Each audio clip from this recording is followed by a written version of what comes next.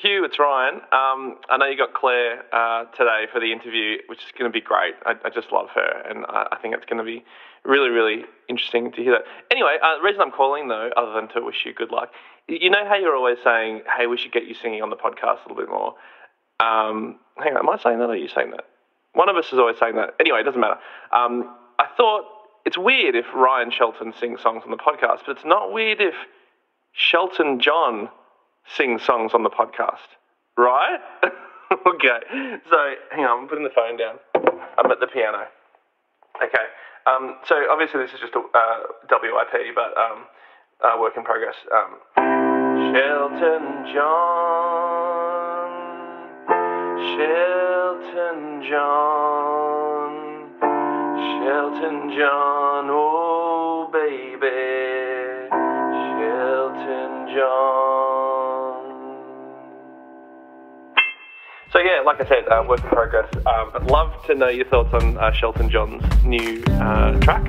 Uh, Got to work on some lyrics, obviously, but um, good luck with Clare. Uh, definitely call me back about that, about that Shelton John thing. Cool. See you. To call back, press 2 2. To replay message, press 1. To reply, press 2. To send a copy, press 3. We're all imperfect, and on this podcast, I'll be chatting with a variety of interesting people who are willing to make themselves vulnerable by sharing their own struggles and imperfections. Then we'll discuss the invaluable takeaways we can all apply to our own imperfect lives. I'm Hugh Van Cuylenburg from the Resilience Project. And I'm Ryan Shelton from My Mum, and this is The Imperfects.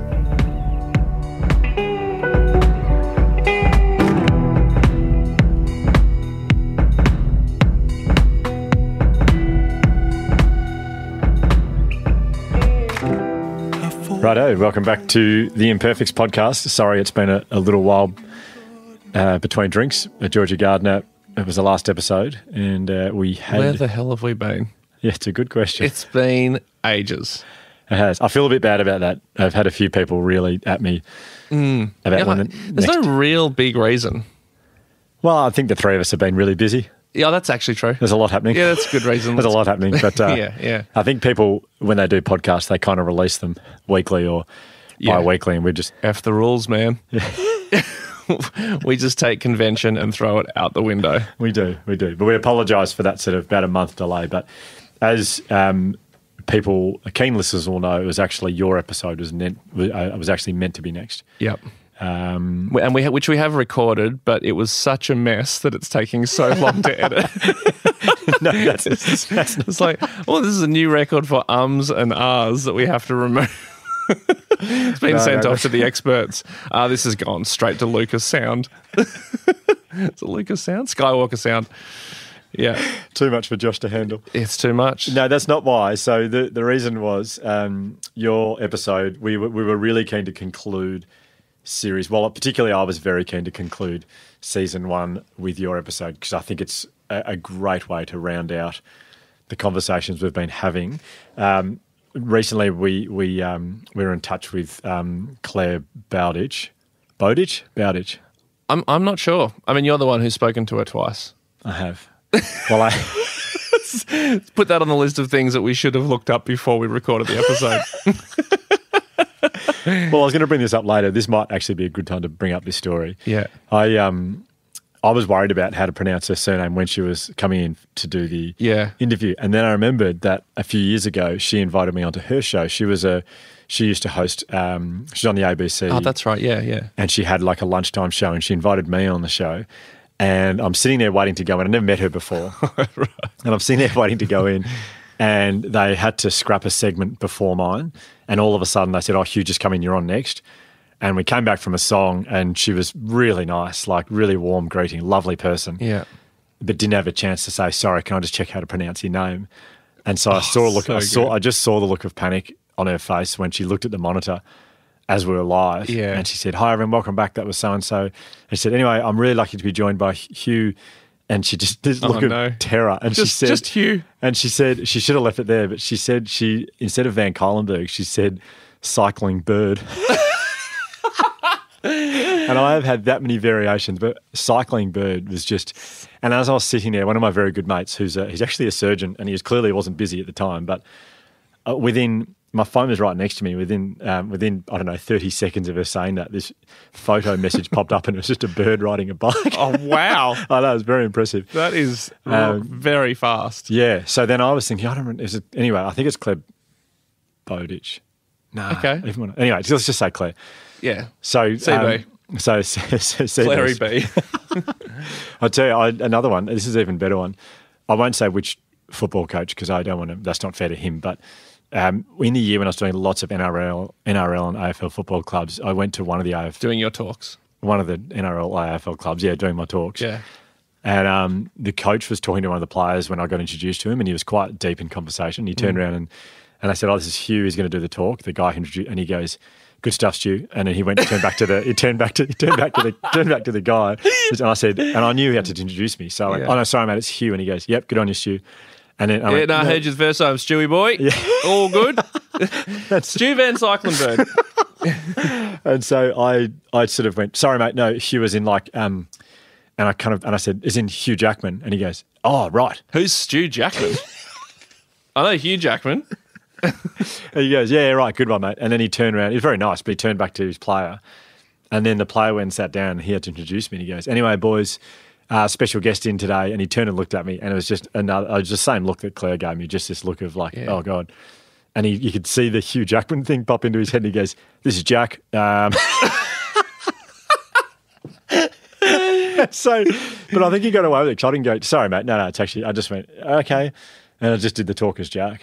Jack So Human. they still they still think you're Jack. No, that, no one was really like it was a. He sort of mumbled it and he kind of. Jack Jackman. Jack Jackmanberg. Anyway, we're so far off topic. Um, so Clare, so Clare got in touch, uh, and oh, she and- interviewed you, and but like the because with your with your name, I just wanted just to add in that when someone calls me on my phone, um, it's the there's a voice that says the name. So Oh. if my earphones are in and my phone's in my pocket, it says the name out, out loud like some voice.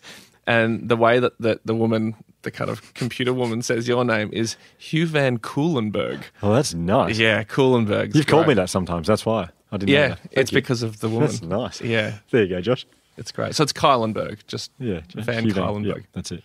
Speaking of, you, um, Stu, have a book out. This is Book Week. It is book week, We've been talking about this bloody book for a couple of months, and Yeah. the day is here. and I know all too well because I've now signed.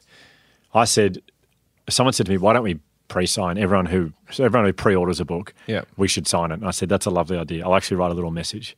And we so we said we'd do that on the website, and then I Mm-hmm. thought mum and dad would probably get one. Josh might, uh, but that'd People be bad. that. didn't, yeah, but we had it's about five hundred, and it takes a long time to write them.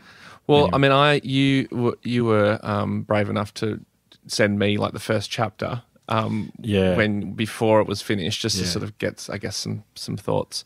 Um, and it is so. I mean, for, I'm I'm saying this to people now, not to you, because I've I've already said this to you, Stu.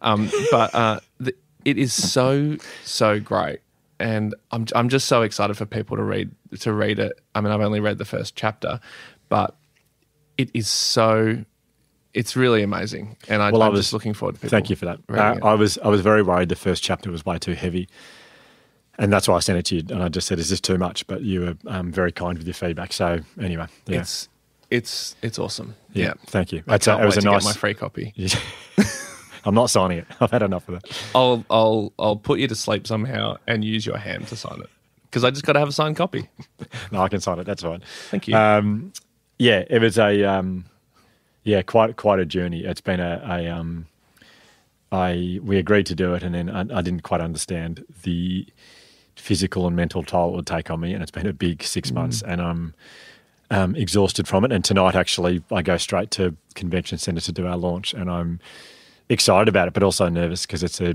it's a people would say, yeah, he makes himself very vulnerable when he does his talks, but I feel like this is a whole new level. I'd, I would agree even just from that first the first chapter i mean i've seen your talk obviously and, and know you but it happens i guess it's, that's the point of writing a book like that where Yeah. you, you kind of get to know a side of someone and inf- you, you know stuff about someone that you never really knew Yeah. and even though i knew bits and pieces to see it all written out just so well like it is it's it's pretty powerful Yeah, totally. Well, thank you for that. Josh is in the book as well.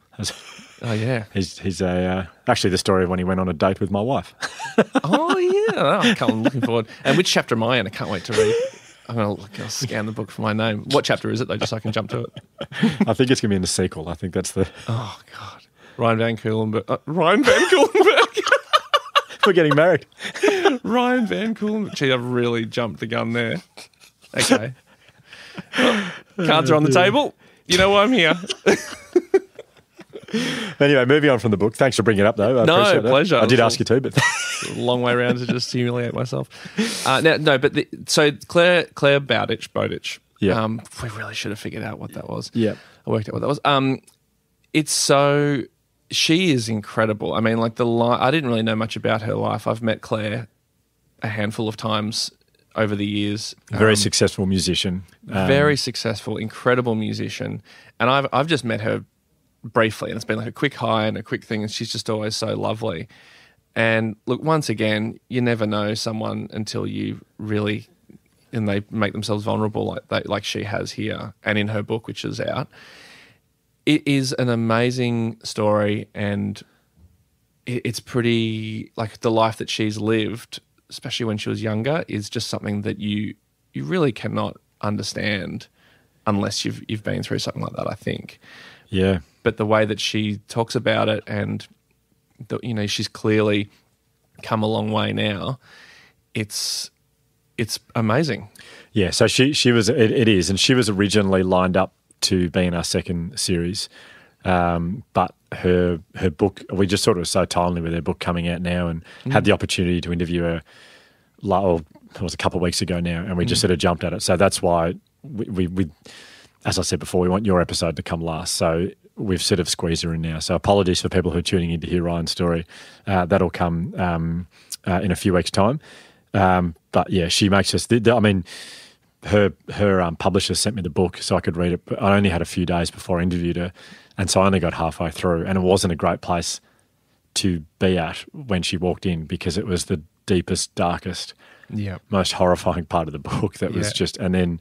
I had to close it and put it down because she literally walked into the studio, Yeah. and I was just very happy to see her. So yeah that she she's okay yeah. yeah Um, so, but it's a, it's a, um, I loved the interview. She's an incredibly warm and bubbly and energetic person. yeah But she covers some, I mean, we chatted about this on the phone a couple of hours ago. Just um, what she covers and what she talks about, I think will many people will, will relate to it. With the rates of anxiety in this country right now, so many people will relate to her story. But what's really powerful also is that she talks about the way she worked her way through um, her struggles. yeah So well here's clare enjoy.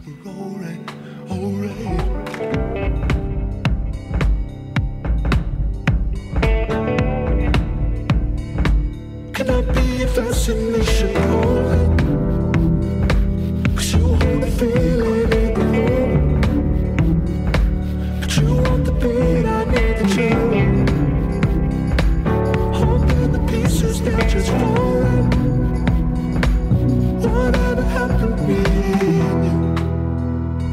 Well, I, um, your people sent me a copy of your book uh, a couple of weeks ago.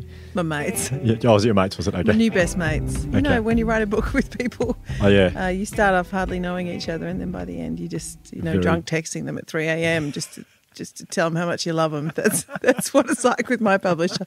What about It's a yours? good relationship. Uh, no, I don't have any drunk drunk messages yet, but Yeah, I don't drink either. Nah. anyway, sorry.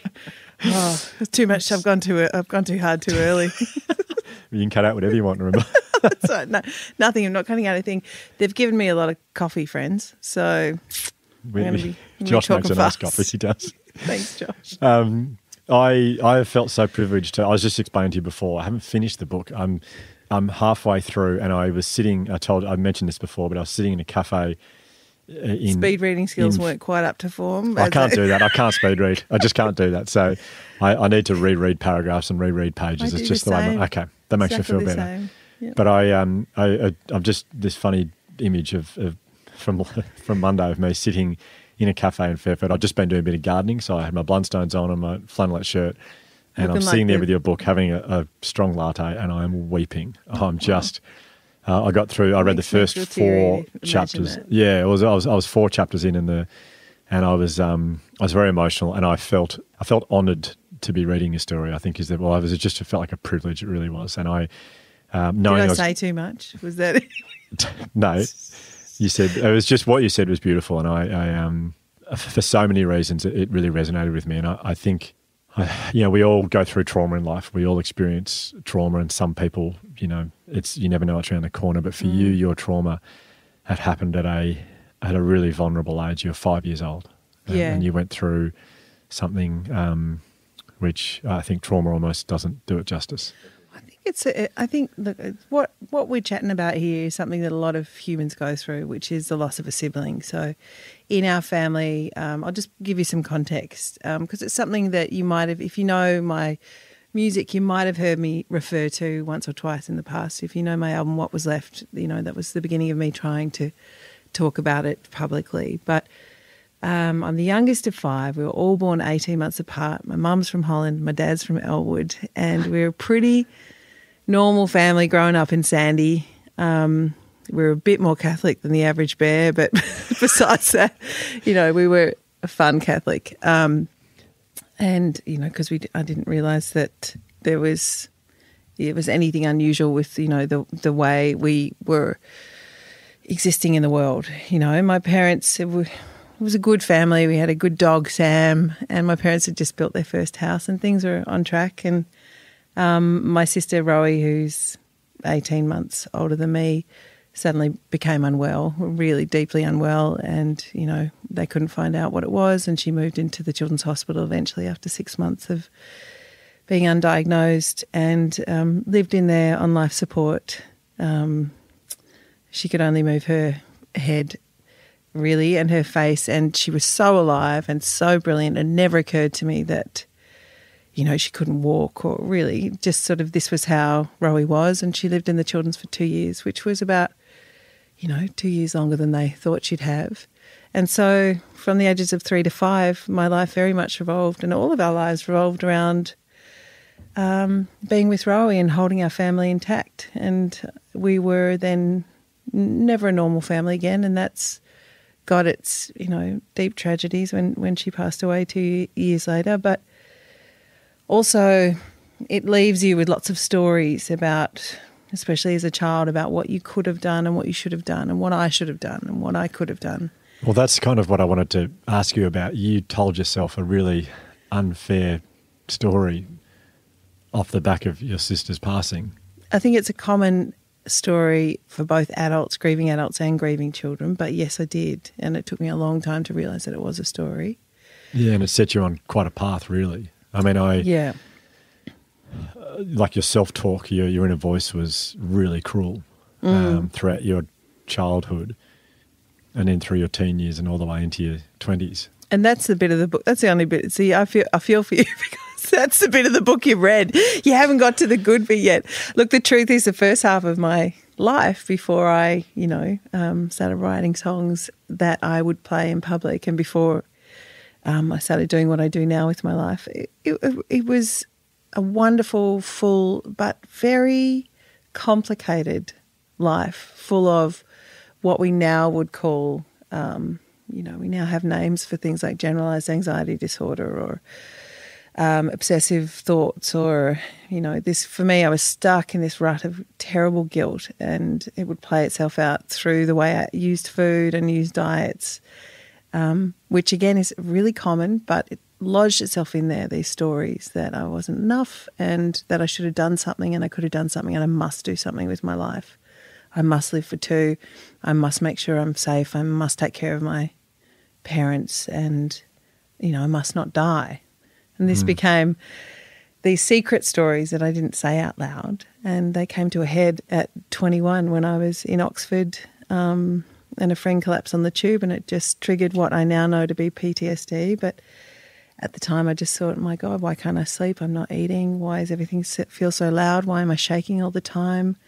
And I lost half my body weight, and friends had to bundle me on the plane and get me home to Melbourne, where I began a very long recovery from what I can now call my one and only genuine, authentic nervous breakdown. Yeah, and you were by yourself pretty much, weren't you? Yeah, I was. My friend Libby, you might know her from Feeding Set fame. She was the French horn player in our first bands.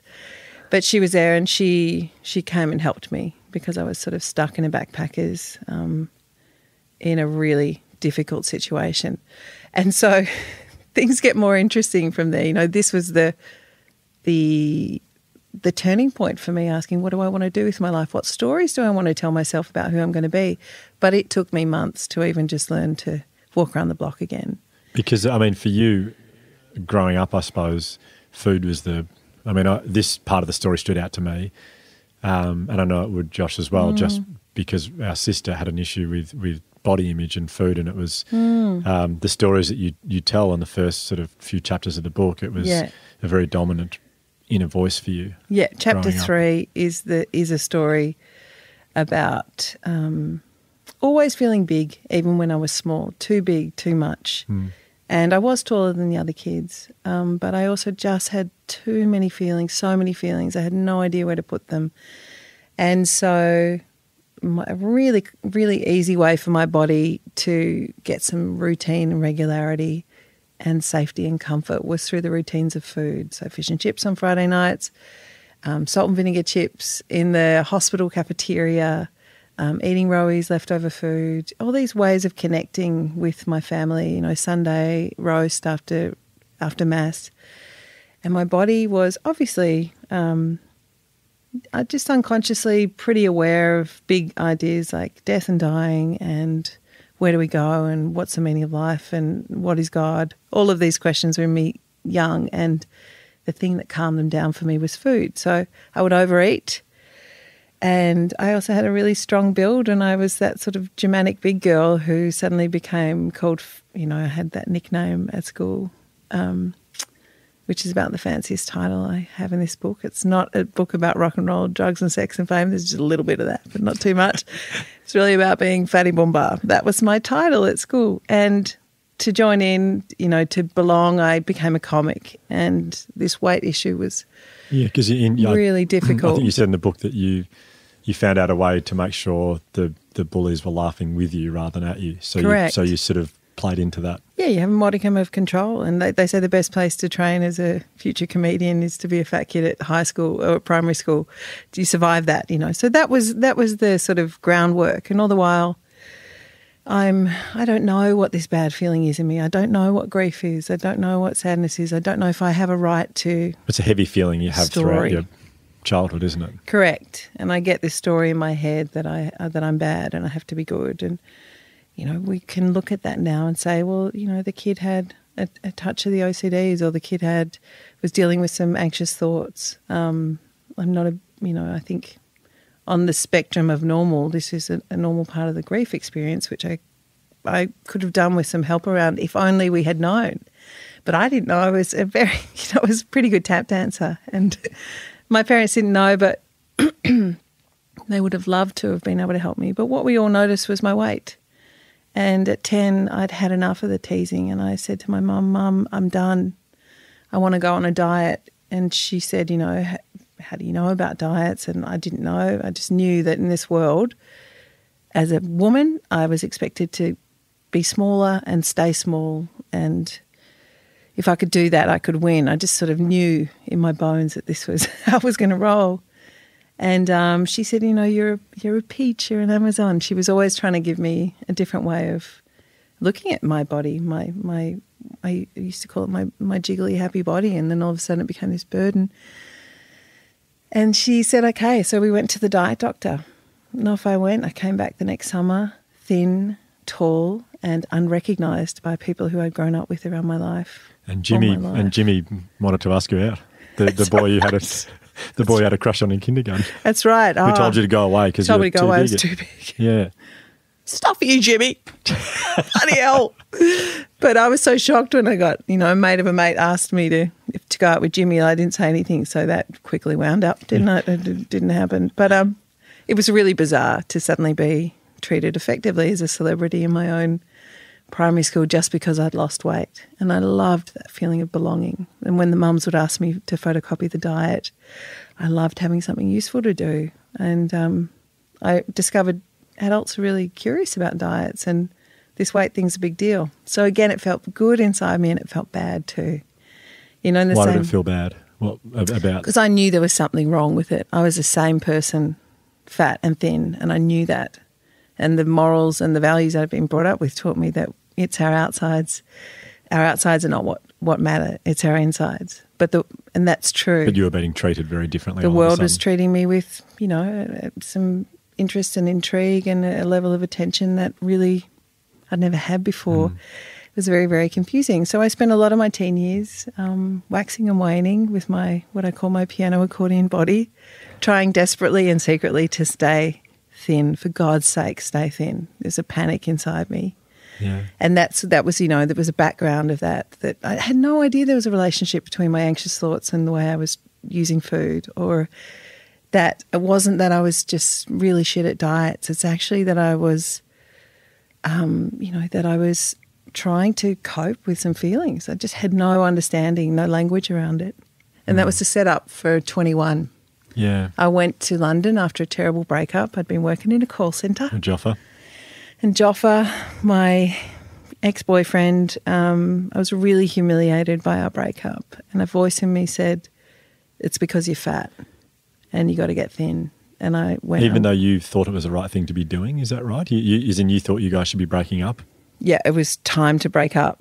but But, then he did it, and that was a yeah, humiliating. that's right. Yeah. Well, I didn't appreciate that, did I? So, um, you know, I was just devastated, really. Uh, we really loved each other and we had a terrifically um, codependent relationship. We'd been together since we were 17.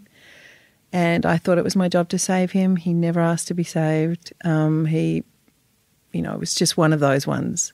And it was all tied up again with grief, with wanting to save, with wanting to make a difference, with being terrified. Issues with drugs and, and that sort of thing. Yeah, that- he loved it. He loved a, a little, a little bit of a chuff. He just Yep. loved it, and I um, didn't realize then I had anxiety. I, I can't smoke dope, unfortunately.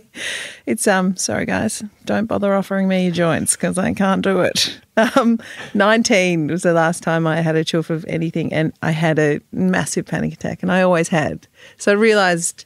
You know, I was pretty, I was playing in bands from seventeen. I was the straightest person in rock and roll. I'll tell you what. Um, so it wasn't for me, and it scared me the the amount he smoked. And you know, I thought it was my role to save him. And he's like, "Dude, you got some issues of your own." And you know, we broke up. I went to London, and that's where I've left you in the book, in the in kind of the darkness. But I can assure you, I can assure you that I did not stay there. It's a, it's a terrible time for me to put down the book, and I and I did it because you were coming You should see into the, the sorrow in his eyes as he's looking at me. God, it's just it's I felt like giving you a big hug when I saw you, even though Oh, it's happened a long time ago. It was 1996. I think. 20, 22 years ago, 23 years ago. Yeah, but it, it's But it seems like, from what I can tell, this was your low Mm. moment. This is your where everything turned around for you. Really, your mental health spiraled Yeah. pretty badly. Which brings us to why would you tell this story? You know, why, why and I haven't told this story um, before because I knew there would be a point where I would want to tell it. And I knew at 21, as I recovered from, um, really, really did recover from what was a, a horrifically debilitating experience and Can came we- to terms with Is it all my right if we talk about what happened in, in London? Yeah, As we- what, what you went in Oxford. Yeah, let's Is go in, back is there. in, I suppose just the the the um, physical things that were happening to you Yes. as a result of mentally what you were going through. which I thought were all just, I was just losing my mind. I had no idea that actually, when our body's adrenalized, when we're oversensitized, we're not sleeping, we're not eating, um, we're shaking, we're, our heart's racing, we've got palpitations, um, feelings of unreality, surrealness, um, you know, sensitivity to light and sound. I had no idea that these are actually just normal, common reactions to uh, our survi- You know, these these are our survival reactions. My body thought it was under threat, and um, I was was pumping a bit much adrenaline through my body. Once I realised that, I was halfway there to to curing, but it went on for so long, and I be, I grew thinner and thinner, and iller and iller. And there were panic attacks, and is They were right? panic attacks. Yeah. It was like 24 7. There was no not panic attack at a certain point. You know, I was lucky if I got three minutes a day where I remembered what it felt like to be my old self. Like I, I really went there. you know, Yeah. I didn't go by halves and I just didn't know. I didn't have any name for my experience. yeah. And when I got a name, you know, I, I came I came back to Melbourne. Do you, if we was there anything else? No, I just there was one other thing I wanted to just ask about. You had a realization. Sorry, I feel like I'm, I'm like digging into this further. Sorry, you no, go for it. tell me to stop whenever. Not you at all. Um, no, I'm, it's been. I'm, I'm, I'm. It's good for. It's good to talk about. I want to talk about it in its detail. Yeah. Because I think there are people still suffering out there who Oh, don't realise that there is a way through. Well, there actually, are people it's walking around simple. right now who are going through what you went through in '96, and this would Yeah. be amazing for And them. I love you, people, and you're gonna be okay. yeah, absolutely. And there's a, there's a couple of simple techniques that, that maybe we'll get a chance to, Yeah, to chat we, about. we definitely here. will. Yeah. We definitely will. Yeah. Um, uh, you had a realization when you were in London that Rowie, your sister, was actually gone. yes. Yeah. And that is where uh, it, it opened up a, a pain inside you which you hadn't felt before.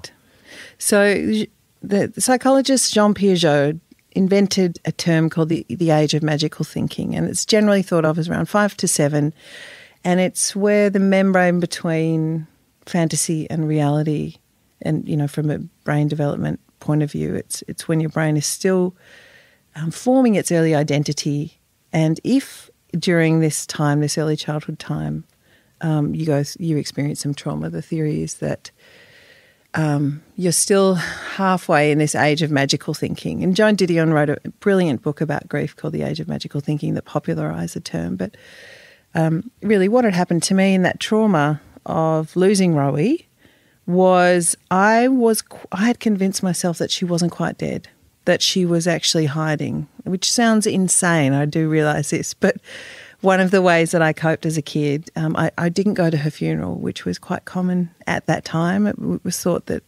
funerals are actually too traumatic for young kids, so it was you know early eighties, late seventies. So I'd always thought some part of me had hung on to this magical thought that one day she was going to turn a corner, that she wasn't really gone. And yeah, in the dark night in Oxford, as I was woken up again and again by the other girls in my dorm, slamming the door, and this had gone on for you know a long time, and I was, I, it- it hit me. She was she was really dead. So you're 21 then? Nothing I could do about it yet. Okay. Yeah, and this was what you know. Under the, we can now look at this from an adult or a, a modern perspective and say that these were all symptoms of PTSD. This was part of the me trying to process trauma, but I had no framework for that. All I knew was I was alone in a foreign country where they spoke my language, but I felt like a stranger, and I thought. I was terrified that some I was going to harm myself somehow. You know that this thought would swallow me up, that I would not survive, basically. Yeah. And that's what I'm up to right now in the book. Fucking, oh my God. And I'm very happy to know that you did. I can, Well, you can have see me. I'm here in Yes. front of you. Yeah, absolutely. So again, why do we talk, you know, why, why do we talk about that? Look, to be honest, it's a story that if I'd read that at 21 after my breakdown, if I'd read someone else's experience of that, I would have found it overwhelming but also comforting because I would have wanted to know I was not the only one who went through it. But I was so unwell that I couldn't read. You know, I couldn't, even just looking at words made me feel nauseous. And the doctor in the UK had said to me, I think you're depressed. Um, you know, you might have a virus. I thought I had a virus. I was sure I had a virus. And she said, You might have a virus, but I think, Clare, you might also be depressed. It might be time for you to go home and, and um, you know, have some quiet time with your family, basically. Uh, and I refused to believe that. I said, You don't understand. I'm the life of the party. There's no way someone like me could be depressed. I didn't understand mental ill health. I didn't understand anything other than what I'd read about, um, you know, Virginia Woolf walking into the river with stones in her pocket, or Van Gogh chopping off his ear, or, you know, Sylvia Plath with her head in the oven. Like, we had a very um, minimized perspective or understanding of the full spectrum of human experience and suffering and where mental ill health um, and the Venn diagram of what is a, living a human life sort of coincide. And I, I, qualify that because I don't think we are our illnesses. I really don't. Uh, For me, I think of them as weather patterns, as storms that, you know, it's really useful to understand if a storm's coming and where a storm is, you know, hitting from and what the wind and the gale's going to be like and, you know, whether I need an umbrella. That to me is a diagnosis and it's very, very useful. But it's just a set of symptoms that pass through. And so many mental Ill- illnesses are, we don't even know really the symptoms are so common in so many of them, and we call them separate things, but really it all comes down, in my estimate, to there's some human suffering going on. Um, and my way out of that suffering was to start having language around it, which happened when I came home. A friend of my mum's had a had had a, a similar experience, and I was so ashamed I didn't I didn't tell my friends. I didn't want anyone to know. And again, I was thin again, you know, and I, didn't- and I, I didn't want to go down the street and people go, oh, you look great, Clare, because I felt awful. This dream I'd always had to be thin again. And there I was, and I was miserable. I, I wanted more than anything just to survive to the end of the day. You know, it was just the panic attacks were, were um, tripled and quadrupled on top of each other. And I had no nothing, you know, no idea what was going on. What did that feel like for you? Panic Fucking attacks? awful. Fucking awful. Like, what's, I mean, just the worst.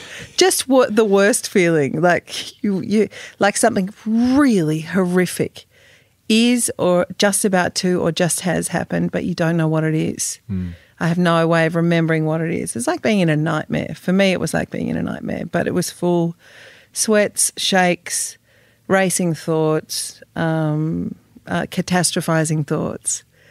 And it all ended when I realized what it was I was going through. I got a framework for not fearing the fear anymore. And that was through a book called Self Help for Your Nerves by Dr. Claire Weekes, who was this pioneer, this old fashioned Australian stalwart who saved those soldiers from the PTSD, but didn't wasn't called PTSD. We just she called it nervous suffering. And I just happened upon this book I really like that. nervous suffering and I went, oh, what? That's it. And she went through all the symptoms. You know, if you're feeling this, that, and the other, I want to let you know you can recover, and here's how you do it. And her technique, I called it FAFFle because I like to acron- acronymize everything face, accept, float, and let time pass. And I'm simplifying it here Say it again slowly, sorry. face, Yep. accept, float, and let time pass. So here's what would have happened to me in London. I'm walking down the street. I get the flutter of feeling of fear, of panic, of adrenaline. You know, maybe a car went past really loudly. Whoop, comes the adrenaline. Then I'm like, oh my God, what's that feeling? And I get afraid of the feeling of fear. And then I start shaking.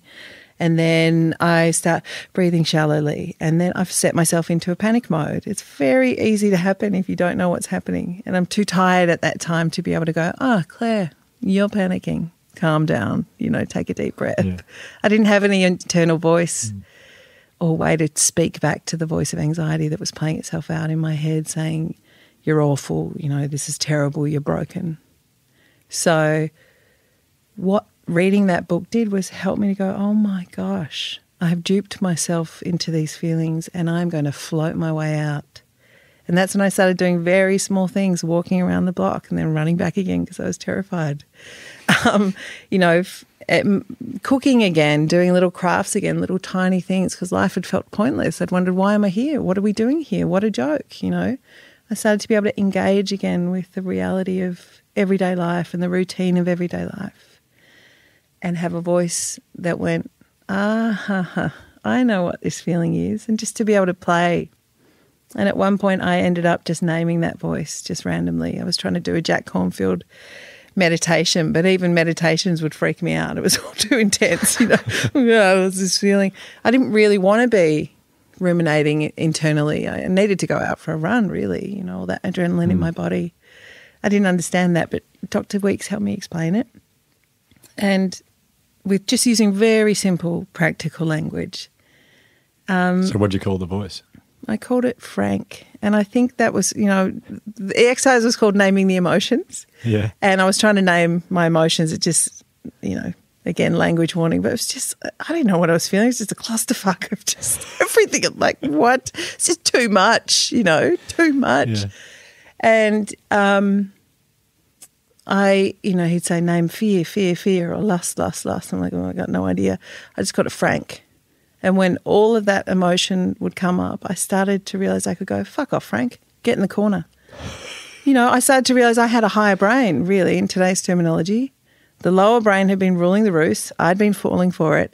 Actually, I have a higher brain. I have a, a frontal cortex. I have a um, an ability to self direct and I worked on that 21, 22, 23, 24. Executive functioning, yeah. Correct, you know, executive functioning, you know, and it was, I make it sound simple when I say it, but those two techniques, the FOF, fuck off Frank, and the FAFL from Dr. Claire Weekes, that was my road out of, and, and also to get a, great, a good therapist. I refuse to go to a GP, and I don't recommend that. I think in today's day and age, you get yourself down to that GP and you go, I feel weird. And you, you listen to them. And if they don't care enough, if you don't think they're giving you your time, you go to another GP. You find someone who cares. And that's what I would do differently now. And I would get a night's sleep earlier, you know, but I was completely paranoid about most things. So my way through was FOF and FAFL, Yeah. getting a good therapist who could be like my ticking clock in a thunderstorm. It's a bit like with like with the therapist. Sorry to interrupt you, but Oh God! For God's sake, interrupt me. Oh God, the coffee's kicked in. I've been talking for two and a half hours. Sorry, I'm so sorry. Forgive me, everyone. I'm so passionate about this though because it saved my life, and I promised myself I'd pass it on. It took me 20 years to find the guts, so yeah. The You must be so proud of yourself. not at all. I'm proud of you. Oh, thank you. I didn't see that coming. Well, You, So- you know, having this conversation around resilience.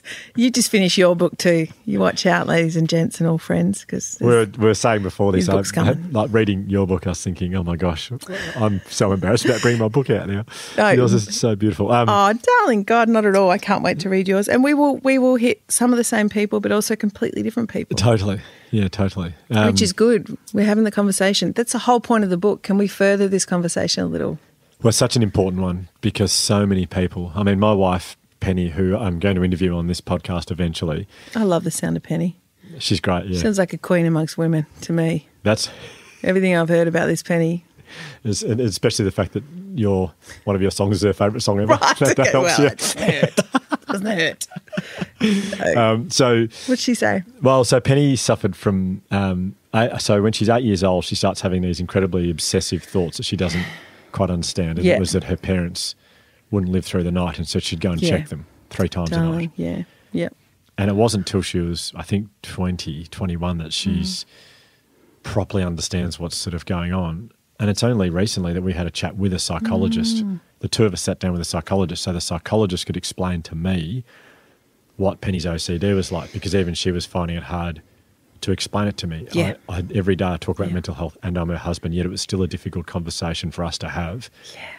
So she's got this beautiful psychologist called Andrea who who described who facilitated the conversation, and I walked away Mm. from it feeling much closer to Penny than I've ever felt before. Mm. A lot more empathy than I've felt ever. Before. I always felt empathy for her, but but but the main thing I was thinking was that everyone we all need to be talking to Mm. therapists. We should all be chatting to psychologists, counselors, whoever. But it is a bit like dating. Like you have to find the right one. You do. You do. And, you know, is- some relationships are forever and some are some are fleeting but just as powerful.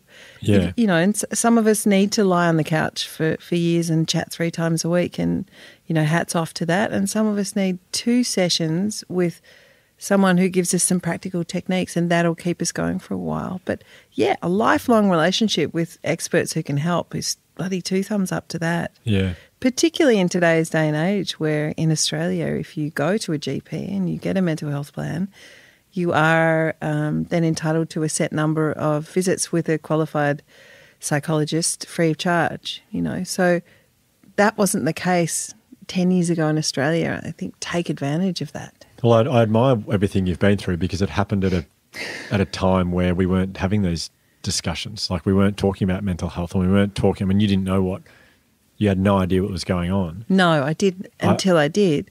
And I didn't need a hell of a lot of information. I just needed to know A, what you're going through is pretty normal. That's, you know, you're actually not going to fall off the face of the earth. You're having panic. You can think different thoughts. You can tell a different story about yourself and you can believe it. You know, I went, oh, wow, that's revolutionary. I had to practice it a lot. There we go. That got me started. Then I got to see a therapist and learn some more about my childhood and what how grief plays itself out and the need to really separate and have a separate identity and allow my sister to be you know to have lived her full life rather than fully always fighting with how unfair it all was you know. It was unfair but it was her full gestalt so accepting that And then stepping into what was actually, I had a lot of dreams. I wanted to be a songwriter. I wanted to be a singer. I wanted to live an amazing life. I told myself all of my life that those things were superficial and they didn't matter. And that was the voice of my fear, you know, to really go, no, to really be able to say, I actually really do want to do these things. I want to make my living telling stories in the world and connecting with people. Not that I had that language then. Um, learning a technique to tell fear to go away and to keep moving forward in the direction of what were my big fat dreams has been a bloody handy little thing. You know, bloody handy. So if you're sitting in front of um, someone now who is experiencing anxiety and the, the panic attacks and, and Was it something I said? What? what have I done? what? What? What? A, no, if I was, yeah, if if you're sitting in front of someone going through Yeah. that right now and, and you had a couple of minutes to Yeah. try and give them something, yeah. uh, what would you be saying to them? So it depends who they were, you know. If, if they were someone that I'd given birth to or was married to, I'd say, Come here, let me give you a cuddle. Take a deep breath into your belly. Big breath into your belly. I understand. I know you're feeling these things. They're just feelings. They're just feelings. So our feelings, you know, I'm very clear now that our feelings come from our thoughts. And we think a thought and it we believe it or don't believe it, and we have a feeling based on that. And this technique of allowing our body to have the chance of thinking something that's not survival based, not panic based. Really, it's quite, if we start with a big deep breath and a few deep breaths, then we've helped our body a little bit, hmm. you know. But here's the reality we do not get to change our circumstances. We don't get to change the weather. I don't get to decide who lives and dies. I don't even get to decide if the taxi comes on time. I don't really even get to decide my first thought, which might be a panic attack, and that person in front of me might be having that panic thought of something bad's going to happen, or I'm going to do something bad, or something bad's going to happen to me, or the world is, you know, whatever that thought is. But we do get a chance to choose a second thought.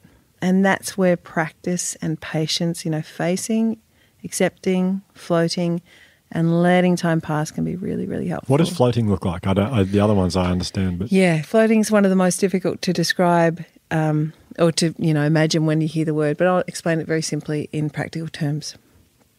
For when I came back from London, I didn't want to leave the house. I was terrified to leave the house. I don't know what I thought was going to happen, but bad things, you know, and and I didn't trust myself to be away from from home, you know. Um, and this was one of my my we all have our particular quirks and that was one of mine you know i was terrified of noise and sound and something happening.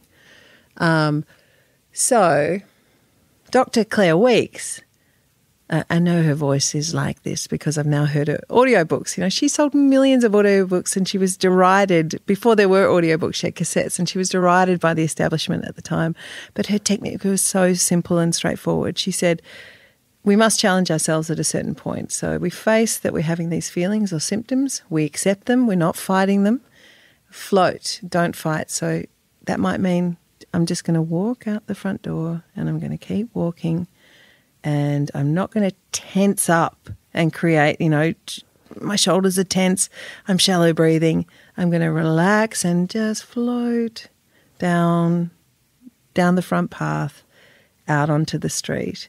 And I'm doing a sort of Hawaiian, um, You are, yeah. yeah, movement now. If I was Yeah. a, a truly Hawaiian dancer, but it was that kind of flow movement. Just allow yourself to relax and go out the street. And when the panic rises again, you know, for me sometimes that was just to the corner, and then I'd have to run home again because the feeling would be too much. But allowing yourself to float through rather than tense up and just let time pass and slowly, slowly. so is it kind of like acknowledging the physical impact it's having on you in, in a way, like Correct. and and overriding that by it's doing really about physical? mindfulness Yeah, okay. and um, remembering to relax your shoulders, relax your jaw.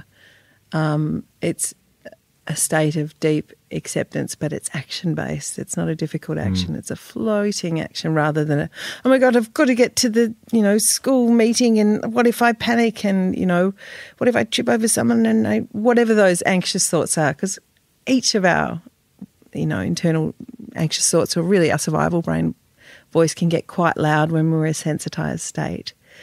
And each of the stories we tell ourselves are different. But my stories, uh, what I needed to do was tell myself a story where things turned out okay. And for me, that was this.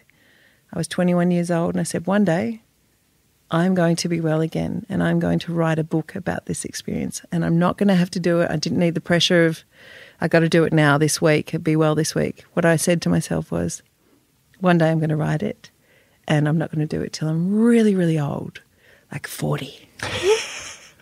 and I, it was so rude. And here I am, you know. And for me, this this is a beautiful moment because I never needed to have another breakdown. I, I learnt this simple technique that has seen me through all of these years, two decades of parenting and living in the public eye and touring. And I still get anxious. And now I say, you know, I'm Fuck feeling off, Frank. anxious. Yeah, fuck off, Frank. None of your business now. Come back. Come back another day. Frank, I've just written a book. I'm yeah, busy. do you mind? Yeah. I do try to be kinder to Frank now. Oh, I'm Oh, okay. like, come on, buddy. but if he plays up, I'm like, you know where to go. Yeah. Off you go, in the corner. So, so how do you feel? So, how do you feel now? Like you look. So, do I look radiant? I've just come from the salon. That's Oh, why. Is that what you're going to say? Oh, my hair. You're going to get a photo of this hair. I've just had my hair done by Christopher. Oh, there you go. Yeah, well, go. your hair does look lovely. Thanks. Uh, Sorry. Sorry, I Um, interrupted. No, no, that's all right. No, but I, I just want. I mean, you, you look like someone who's. Who, who's just achieved something really special? Like you've just you've set out to. Got that glow. I don't know. You just you just Josh, am I? Is that? yeah, good. Okay. Yeah, thanks, yeah, guys. yeah. new hair, new dress.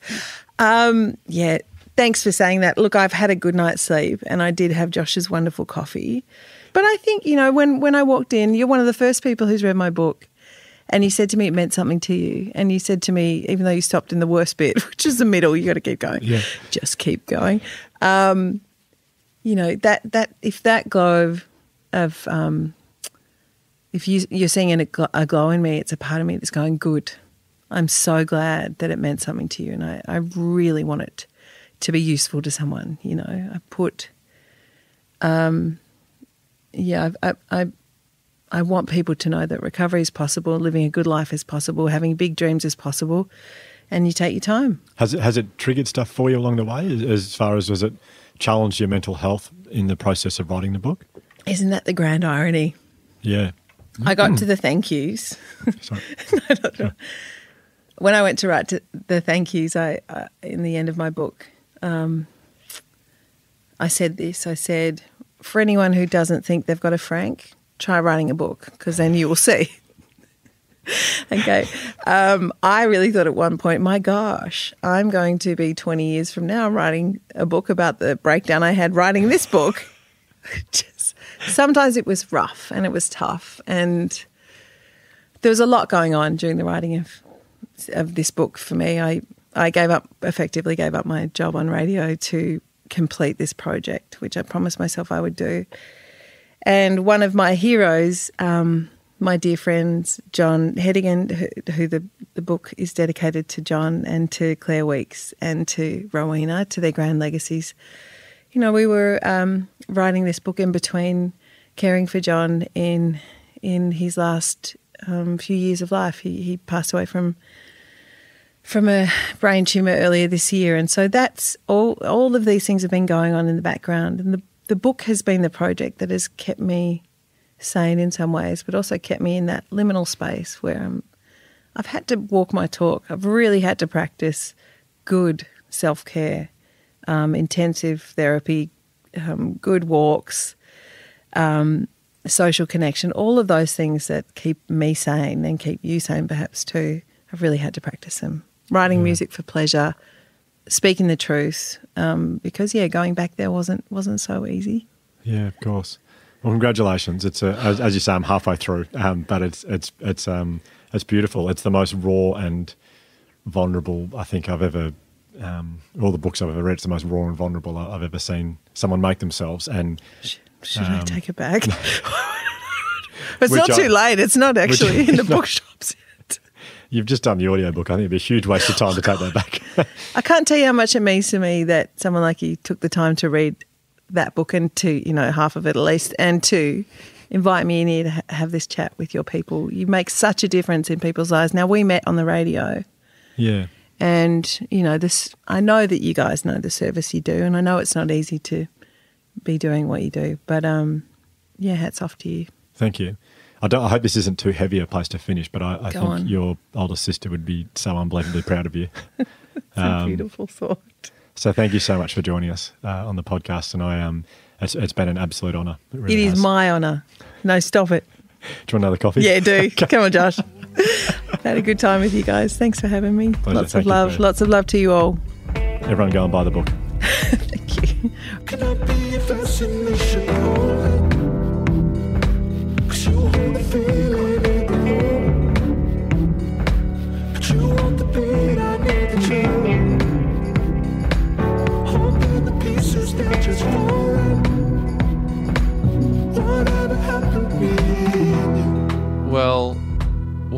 What a. I, I want to read that book now. Yeah. I mean, maybe I read the second half, and then you can just you just don't have to, and then we can just exchange notes because it sound like it sounds like an incredible read. Yeah, it is. Yeah. What a life! Yeah, what a great person. Yeah. Now we'll we'll, we'll go into some stuff in a sec, but before we do, so this is going to blow your minds, guys. Um, so usually it's just Hugh talking to the the interviewee, but in a pretty crazy change up of convention and format, um, Josh uh, Van Cuylenburg, your brother, decided to jump in and ask a question near the end. I didn't see it coming. Uh, No one did. No one did. I was listening to the raw audio. I was like, well, this. I, I could see Josh eyeing off your chair for a couple of weeks, and you know, good on him for not for not acting on it. But he just couldn't help himself, and we're so we're so beneficial. We'll, we'll, let me say that again. We're so lucky for the fact that he did because he asks a very good question, and I thought we'll just play that now, uh, and then we can come back and talk more. Well, I think for people who know Josh and myself, Josh is a bit more of a deep, more insightful Yeah. thinker. Um, and so I could see his brain ticking away during the interview. Yeah, and he couldn't help himself. he So yeah. possibly a new segment, Josh's insightful Yeah. question. Josh's good question. With like a 10 minute intro. Just the sound of like microphones moving and like chairs shuffling as he like makes his way over to the microphone. Done. I, I look forward to that in your. Really catchy jingle. All right, so here's Josh's good question. Um, I think. Hi. Hello. um, this is exciting. Um, I think sometimes when you hear someone's story that's taken 10, 15, 20 years, it can feel like it's a natural progression of events that all worked well and it all, once you made one decision, just led to all Yes. these happy moments. Yeah. And then you end up, well, for, and it's just, it's just magic. Magic. and it all Yeah, goes. But yeah. from my experience of dealing with issues, the reality is that it's sort of two steps forward, one step backwards for quite a while. And it Yeah, if you're little- lucky, isn't it? Yeah. Yeah, so I'd be interested to know your thoughts on that. When I first came back from London, I thought I would never ever recover. I thought I was so broken that there was no chance. I was 21 years old and I thought I was done. And I, you know, my hope was that I would just, as I said, get through the day. I learnt a technique, a physical technique, just for understanding and framing anxiety, but that didn't take, and that allowed me to begin existing in the world again. Um, and begin, you know, possibly sleeping again and so on. But working on the the inner work, you know, the feelings that I had, the difficulties, that is my life's work and that continues. You know, what do we do with suffering? How do we turn it into gold? When we tell the story of it, it sounds really straightforward. But I've, I've got to tell you, you know, I, I spent from that moment forward, the first you would have heard of me was maybe, if, if you have heard of me, was seven years later when I released a song. But in those six years, there I was, slowly, slowly. Um, you know, I'd try to go to uni. Sometimes I'd still panic. I'd have to go back to, you know, go sit in my dad with my dad in his office. Um, I never thought every every therapy session. I thought, what was the point of that going in? And then I might come out with one little tiny granule of something that made sense, and I feel rotten again the next day and think, what's wrong with me? Then I'd try and remind myself of the techniques I was learning, and it was so slowly, slowly, slowly. And I think it's such a good point to make that it, it's not you're going to read my book, you're going to read Hugh's book, you're going to read our books and think it was all pretty straightforward and linear. It just wasn't. It's absolute chaos most of the time. But you can look back 20 years later and go, aha, what were the key, you know, what was the key to me getting well again? And it was this simple. I wanted to get well, and I refused to truly give up, even though everything in me was tempted to give up, and even everything felt so slow, like I'd never get there. And sometimes it still feels like that, but I know better. I don't give up. You know, I, I if the therapist isn't right or the technique doesn't work, I try a new one. Um, and I write songs. You know how lucky we are to have things like that. So the point being, slowly, slowly, slowly, slowly, slowly. It's not going to look neat. It's not meant to look neat. That's not what life is, and it makes sense in retrospect. But I, yeah, I just want to encourage you to not compare or think that our po- ni- nicely polished books um, is what the journey looked like from the inside. It was really, I mean, holy majoli. I still sometimes pinch myself that we got here. Here we are, boys. it's unbelievable. Well, thankfully, Josh did ask that question because it was a, it's an amazing little extra bit there. Yeah, it was good because for me, um, and I suppose why Josh asked the question was there's a risk that people listen to the interview and think, so she wasn't well, she found some strategies, she put them into place, she got better. Yep. Really important to acknowledge that it's, um, as Josh said, sort of two steps forward, one step back. Yeah. And you have days where you struggle and it's not just this clear path to really good mental health. And I think that's a, I'm glad he asked his good question. Yeah, and, and it is. It's also just a reminder that no matter who you are, it's the whole. This is the whole point of this podcast. But even now, no doubt, Clare will be dealing with things on a daily basis, just like everyone is.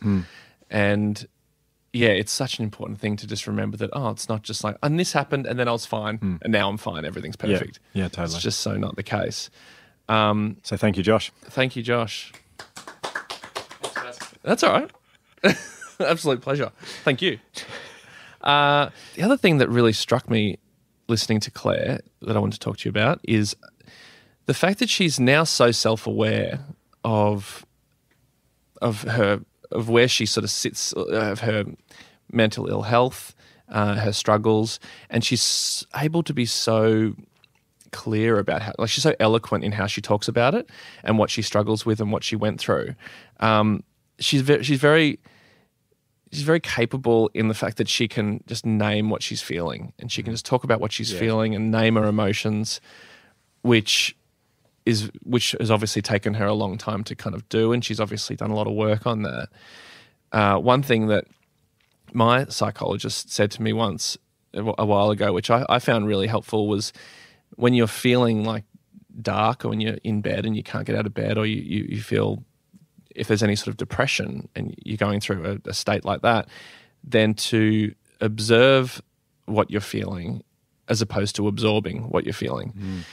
Because to absorb what you're feeling, this is what she was telling me, means that it's like what Clare said. It's like your your feelings are your thoughts. Like your your thoughts create can create your feelings, or at least amplify your feelings. And if you're just sitting there and you're you're and you're in bed and you can't get up and you just feel really dark and alone and to to absorb it is the wrong thing to do because the more you absorb it and not talk to talk about it with someone, it just gets bigger and bigger and bigger, and that voice in your head gets louder and louder to the point where it's so convincing that it's the truth. And I just thought I'd just ask you about a little bit. So emotional literacy is the ability to label the emotion you're experiencing as Right. you're experiencing it. Yeah. And it's something that we are pretty bad at as a whole. And when I say we, I think I kind of, I think I really mean males. um, Yeah, well, I mean, it, it's. I mean, yeah, I know what you mean. Like traditionally, it is it is Yeah. males, but I guess women as well. Like depending on the support group you have. Yeah, a lot depends on your upbringing as well. I mean, the reason I, I shouldn't generalize and say males, but the reason I'm saying it, if you are someone who struggles um, to label your emotion, there's actually a condition, and that condition is called alexithymia. Um, a without lexi words, thymia, emotion. So, Wow. um, and apparently, I, I heard the other day that 80% of males in the United States have some form of alexithymia. Ooh. So it's really common. I heard that on a TED talk, um, and we can we'll put that in the link like we always do Yep. in, in the notes in the show notes. Thumbs up from Josh. um, but anyway, but so so many of us experience this inability to label the. So the reason. So first of all, the reason I think we struggle, particularly in males somewhere like Australia, to label the emotion we're experiencing is because traditionally, and now I'm not saying my upbringing. Josh and I were blessed to have a, a beautiful dad who, who didn't do this to us. But a lot of the time, if a young boy is upset or crying at home, traditionally the dad will say, "Come on, stop crying, be a man, don't be a girl," that kind of stuff. Yep. And so the message to a young boy who's Chin really up yeah, thing. that kind of stuff. So Yeah. the message there is that okay, well, if I want to be a man and I, and I don't want to be a girl, I need to not cry. And so all of a sudden we start switching off. We don't identify what our emotions are because we have been taught that it's a sign of weakness, whatever. So we don't do that. And then Yeah. things go wrong throughout our life. We get upset and we sort of push it to the side and we go, no, I'm fine, I'm fine. or even even even the fact that it what it, what it also could just say is depending on how you've been brought up even if you're being told oh come on it's all right you'll be right just let's just move past it then you're just learning that this is the wrong thing to do to be sad Yeah. to be upset and that's that's bad so i need to get through that as quickly as possible Totally. or just not talk about Yeah, it totally, totally. And so we don't identify with the emotion. And I think in Clare's example, uh, she didn't say this, and, and I'm not saying this is definitely the case, but it's very possible that she, the last thing she wanted to do was create any more drama for her family with what they've been through. So if she's feeling upset.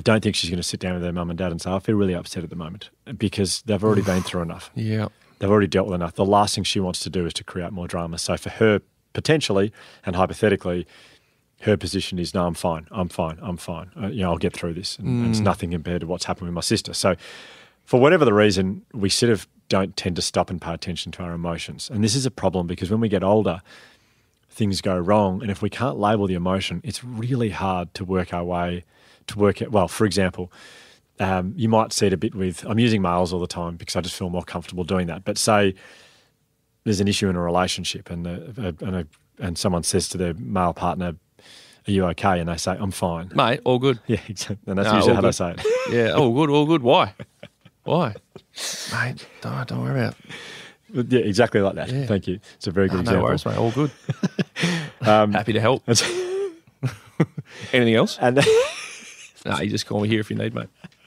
and and the reason we do that, we brush it, is because we don't know how to, we don't know what we're feeling. So the reason it's important to be able to label your emotion is this: if you are feeling jealous or you're feeling lonely or feeling hurt, to be able to say, "Oh, I actually feel lonely," mm.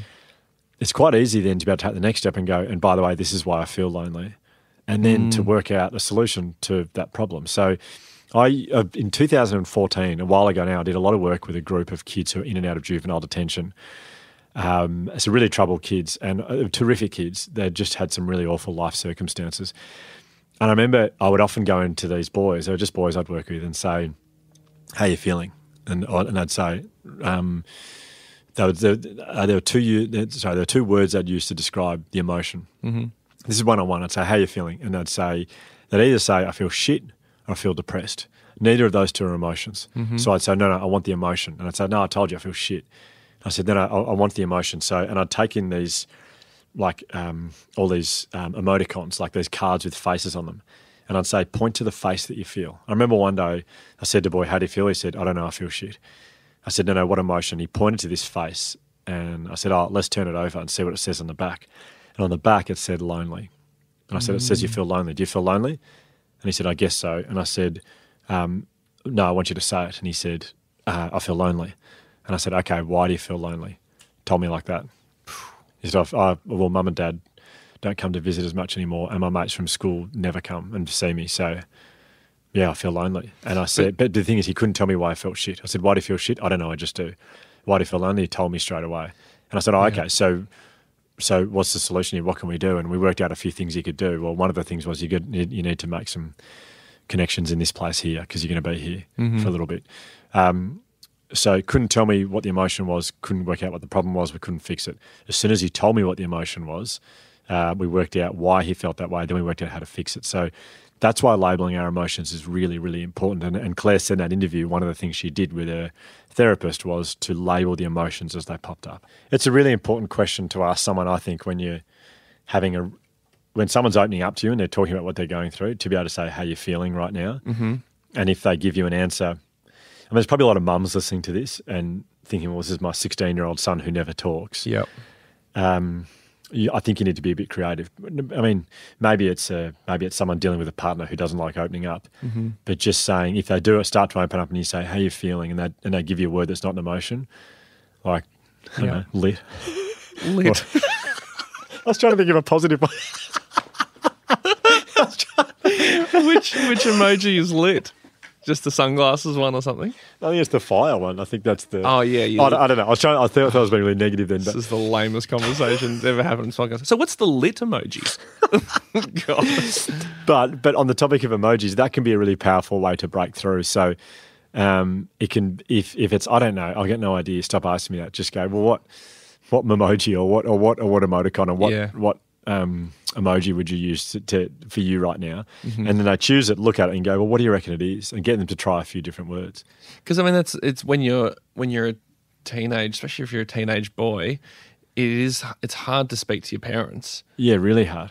because and I don't there's there's a weird block there. Yeah, And I even find it in myself sometimes now, and I'm 38. Yeah. that weird block, and I don't really know what it is, and I'm so aware of it, but sometimes I just can't like kick it. Well, so often that question is what breaks the ice, that, that gets you to a good place because they're going to answer if it's um, lost, unsure, um, whatever it is, whatever emotion they tell you. The next question of why, um, it's usually not that hard for them to answer. Well, they might know in their head at least. Yeah, And even if at least in their head that that starts ticking over, that's good. and Yeah. then you can say to them, "Well, we got to work out what to do about that, whatever's going on right now for Yeah. you." So emotional literacy is a really big one, and we don't talk about it anywhere near enough. Our, our school curriculum, it's a big part of our school curriculum, which I'm really excited about. We got 110,000 kids around the country this year doing our curriculum, and I, I get really excited about that because I know there's 110,000 kids around the country who have been doing lessons with their teachers on emotional literacy all Wow. year long, which is really cool. and how So, old are they? Uh, prep all the way up to year 12. See, that's incredible. So so five year olds up to eighteen year olds. So then, so then, such a. I mean, obviously, such an obvious thing to say, but such a big part of emotional literacy then is learning from a young age, and to understand, to just like you spe- you learn a language, it's kind of like that, and like Yeah. learning like that. That's just like a normal thing to talk about. Yeah, and uh, Josh and I were so lucky because our mum just always asked us what emotion we were feeling. Always, Wow. or from a very young age. I I, I um I don't know where she learned this or uh, uh, I, yeah who knows but she um, because I don't think in her upbringing she was asked that question but for some reason instinctively she asked us a lot and I feel like my Josh and my sister Georgia and I have got good emotional literacy. I think a lot of it comes from our parents. Mm. So for parents listening out there, really important you ask your child how, how they feel and then why they feel that way. And you don't need to give them advice off the back of that. You just listen to them. And that, I mean, that's also goes for, I guess, people in relationships. Like if the person that you're with is is struggling in a way, then to to talk in, in a way which, like an, an open way, and give them the opportunity to speak openly about their emotions and to label the emotion. It's it's always talking about anything like that is strange if you've never done it before because it feels very foreign and kind of can seem just well vulnerable Yeah. really vulnerable but it's but it's it, it takes both people well especially if you're not the one struggling if you're the one helping your partner talk and label the emotion then it's just so important like you play as much of an important role as they do And, and, and the other important thing on that, and that's very true, is to not just use it when times are tough or they're going through something really hard. Um, asking the question, how do you feel when, when they have good news as well, mm-hmm. um, is a really powerful thing to do as well. yeah Penny's gone back to uni. She's doing social masters in social work, and um, uh, she she's very intelligent. She has very good marks, and and I um she was telling me, and I was thinking I really want to give her the best response here. And I, and I asked her how she's feeling, and we had this lovely conversation off the back of the question, "How are you feeling?" It's a great question to ask someone when they give you good news because Yeah. you allow them to relive it, and that's a really powerful connection to have with that person. So this is not doesn't have to be. Uh, for a really you know difficult emotion, it can be something that's really lit as well. yeah something that's lit yeah yeah, I can't believe I yeah said we that say before. lit we always say lit what's the big deal I can't. I think it would be great to want if you if you and Penny ever went on the Amazing Race together or something, and then you win, and you just like you you know she's so excited, and you're both like cheering, and you're just like label the emotion, Penny. Penny, how are you feeling? Label it. just give me a break, Hugh. I'm enjoying myself. Yeah, label the emotion. Don't have alexithymia. um, so yeah, I, I think emotional literacy is a big one for this country right now. To be honest, like all the stuff that's going on and being able to label how he feels really important. The second thing that you brought up in that um, in your in your question is it was sort of led to CBT. So what you said Yeah. before was that um, acknowledging your feelings, or sorry, acknowledging your thoughts, and then how they make you feel. So, for one of the things that people will be asked to do when they go and see a psychologist, when they go and talk about issues I have, or one of the possible suggested ways of trying to help someone is cognitive behavioral therapy. Um, if I could try and summarize it really quickly, and I'm very being very careful not to stray outside of my lanes here because I'm, I'm not a psychologist, so I'm trying to stay in my lane here. But um, it is basically the basic premise is that um, we it, everything starts with a thought, and then that then creates a feeling for us, and then that'll often go on and dictate the way we behave. So an example could be um, if I if I'm cooking dinner and I'm pretty excited about it, cooking dinner for Penny and Benji, and then I burn the dinner or whatever, um, and then my thought and, and then my first thought from that is that I'm I'm such a failure as a dad, like I'm such a bad partner. I'm trying to just get down do something, yourself. yeah, get really down to myself, and then I come home and they're excited to see me, and I'm in, and I my actions are, my behaviours are, I'm down to myself, so I sort of snap at them, and Penny says, "How come dinner's not ready yet?" I kind of snap at her and say, "Well, I'm sorry, but uh, this happened," and and then Benji wants a, wants my attention, and I'm angry, and I'm I'm feeling like a bad father, so I don't connect with him properly. Mm-hmm. So that's how a thought I've had. I'm a really bad cook, mm-hmm. so I'm a bad father. Has in, has impacted my feelings. My feelings are I'm not a good dad, and I feel really down to myself. Impact has influenced my behaviour. Behavior. Wow. So cognitive behavioural therapy is where you basically, like you said before, you acknowledge the thought and you kind of intercept it there and say, well, it's just a thought, and it doesn't have to impact my feelings in a negative way. What's a different way that I can say this right now? And to me, it could be if I've burnt the dinner, I could say. And Penny's probably listening to this laughing right now, going, "You always do that. You're so bad in the kitchen." In fact, I can't remember a time where you didn't burn dinner. yeah, I know why you chose that as an example. Yeah, it's affected your behavior cooking, that's for sure. You're a terrible cook.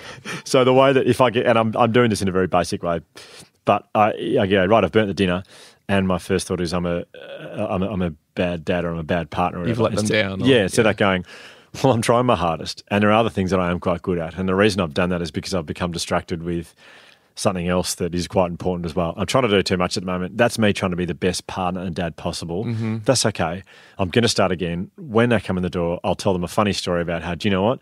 Dad's burnt the dinner again. So it's going to be a bit later than it was, or something like that. Yes, and then okay, make a bit of a joke about it. Or I've just intercepted the thought before it becomes a negative feeling. Yeah. Turn it a positive one. Um, and then my behavior is more positive. So, It's, I mean, it, it also plays a little bit into when we let our ego like control our it behavior. does. Yeah, absolutely. Because uh, one great thing I, I heard recently is that when you know when your ego's in charge of what you're doing because you're trying to figure out who's right and who's wrong, Mm. and when when you're trying to figure out when you're uh, you know trying to figure out the person who's right and wrong. And that's your that's completely your ego, as opposed to just letting it be what it is. It's like, well, I haven't done the dinner um, because it got burnt, and now I'm annoyed at myself. So if Penny comes in and goes, um, again, I'm going to try and stay in my lane here. I'm, I'm veering very aggressively outside of it. Um, but if she comes home and says, uh, Why isn't the dinner ready? It's almost like you're hearing that. It's like you're accusing me of stuffing up. yeah. And I don't want to be wrong here. Yeah. So I'm going to protect myself. Yeah. So I'm not wrong. It tends to bring up other stuff as well. Like oh, you Oh, might be angry about something that happened the other day, and that's still because you haven't dealt with that. That all of a sudden the argument you're having is so disproportionate Yeah. to the actual issue that's in front of you. Because you're just like, you, you're just like clawing for status. yeah, yeah, Yeah. totally, yeah, exactly right. And we have this psychological need for status, as I think we've said before. So Yep. yeah, absolutely spot on. So um, I should probably say that for people listening, going, I've never heard of this, and I've got some mental health issues. This is great. This is going to fix me. It's not for everyone. Some people are so you know you, you've, you've got some really this is this is something you talk through with a GP or a psychologist to work out if it's best for you, and they will give you much better example and much better practical strategies than me burning the dinner Yep. and then getting angry at Penny, Penny and Benji. But Yeah. um, it's a it's a very common form of um, of therapy, and it works for a lot of people. It helps a lot of people. Mm-hmm. I find myself doing it all the time in my head, um, not as a form of therapy, just working through stuff. So do you mean so to put it really simply as far so what CBT is essentially is is is realizing what you're realizing Paying attention to your thought. paying attention Yep. to your thoughts and not letting it uh, get the better of you and affect your behavior. Yeah, basically, yeah. Yeah. Yeah, because that's the flow on. It starts with a thought, then you have a feeling, and then that impacts your behavior. Yeah, 'cause, I mean, I, I- feel like that happens to me all the time, especially when like if my partner Jam if she comes home and I'm in a bad mood because I maybe haven't done enough work that day, like I feel guilty or annoyed that I haven't done as much writing as I wanted to. So I feel like it's a wasted day. And then she comes home and I'm in a bit of a bad mood because maybe I was hoping to do more that night and now she's home and it's like, well, now I can't do any more work because you're home. You know, I let's let and then so what I've tried to do more and more, and I actually didn't even know this was called CBT, but I guess CBT, but this is what I've been doing is is just as quickly as I can, just saying to her, I, I'm not in a good mood because of this, because I haven't done enough work today.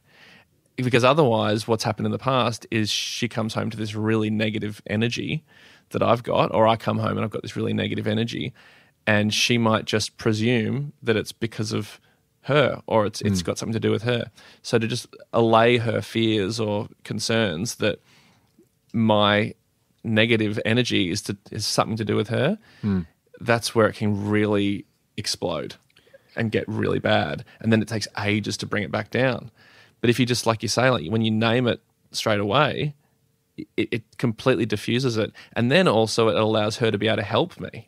It's extremely disarming um, for you to just say, "Yeah, this is how I'm." I mean, it's all you know. This it's a really nice conversation to have with our podcast theme about being vulnerable and being imperfect. That's Mm. Yeah. kind of what you're doing. Yeah. really. Yeah.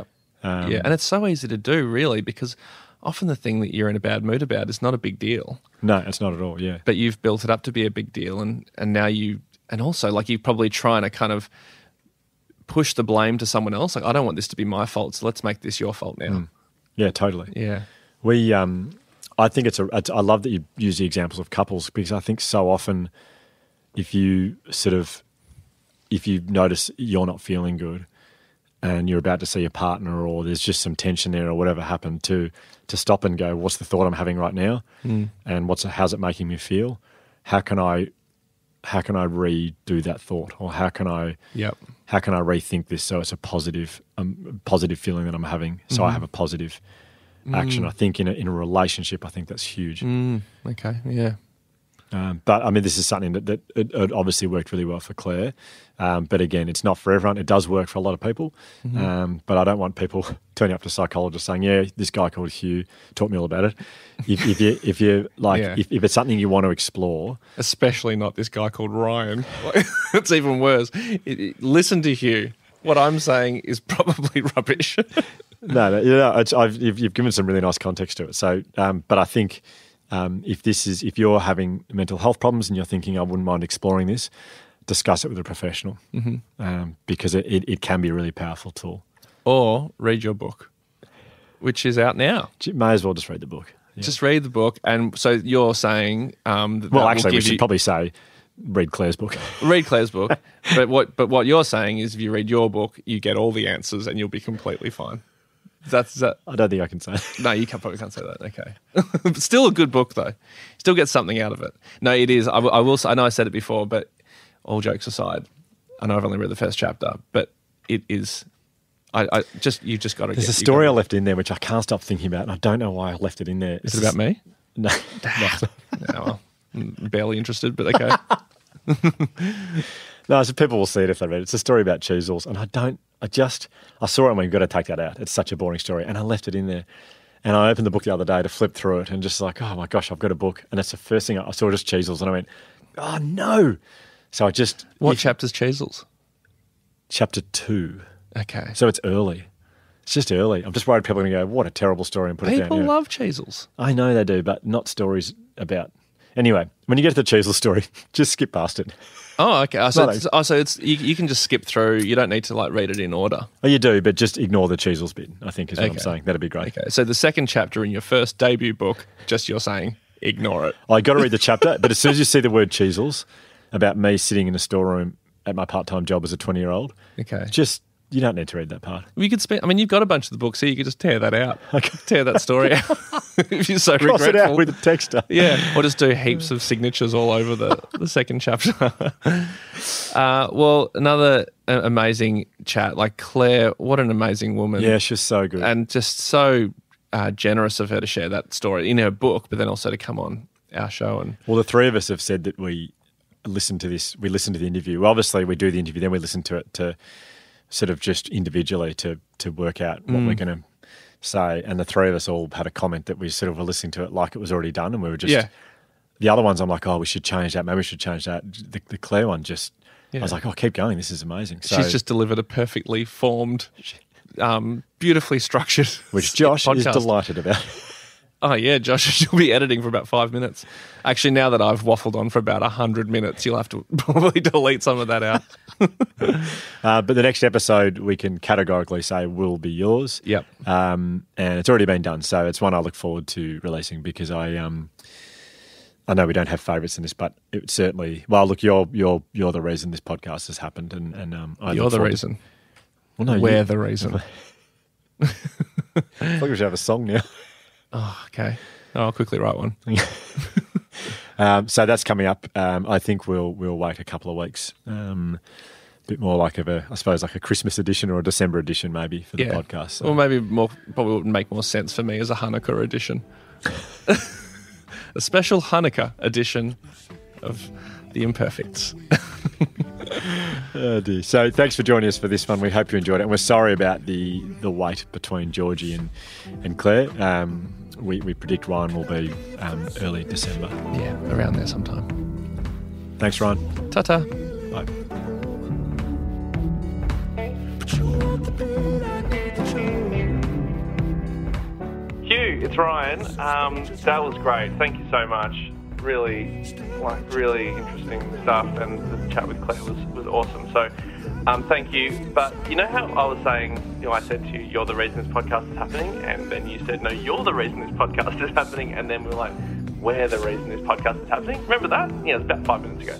Um, anyway, yeah, I said that I'd write a song about it, um, but I obviously can't write a song. I'm, I'm Ryan Shelton. What the hell do I know about music? But luckily, I know a guy called Shelton John who was very happy to come in and just improvise uh, a, song for us. so I don't know what we'll we'll do with this, but you know, take it away, Shelton John.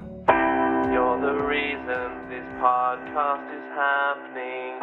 You're the reason this podcast is happening. You're the reason this podcast is happening.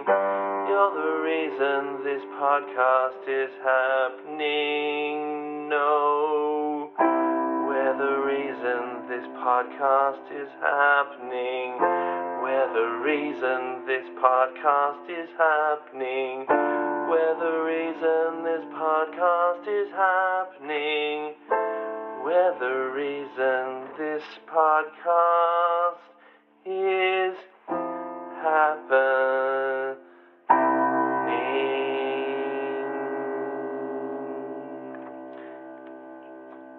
Thank you very much. Uh, my name's Shelton John. Um, speak soon, Hugh. I haven't got a good sign off, but um, speak soon, Hugh. It's Ryan, actually. It's actually Ryan. To call back, press 2 2 to replay. If this episode has triggered anything for you around mental health, we strongly recommend Lifeline on 131114. The Imperfects is brought to you by the Resilience Project. Produced by Ryan Shelton, Hugh, and Josh Van Cuylenburg. A very, very special thank you also to No Mono for generously allowing us to use Keep On as the theme song for this podcast.